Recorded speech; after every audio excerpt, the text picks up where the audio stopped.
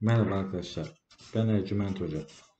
Bugünkü çalışmamız alacaklarınızı, borçlarınızı erken vakitte toplayabilmeniz için yapılacak olan bir çalışmadır.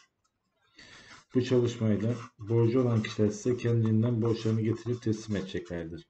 Buraya adınızı, doğum tarihinizi ve anne isminizi yazın. Daha sonra bu kağıdı evinizin etrafında bir yere toprağa gömün. Kısa süre içinde olumlu etkilerini göreceksinizdir. Ayrıntılı bir çalışma yaptırmak isterseniz de bana WhatsApp üzerinden yazabilirsiniz. Allah'a emanet. Merhaba arkadaşlar. Bu çalışmamız eşler arasında birbirlerine yakınlığı sağlamak için yapılan çalışmadır. Yani çocuk yapmak istediğiniz ya farklı düşünceler için eşinize yaklaşmak istiyorsanız bu çalışmayı uygulayınız. Buraya adınızı, doğum tarihinizi ve anne isminizi yazıyorsunuz. Daha sonra buraya karşınızdaki kişinin adı, doğum tarihi ve anne ismi.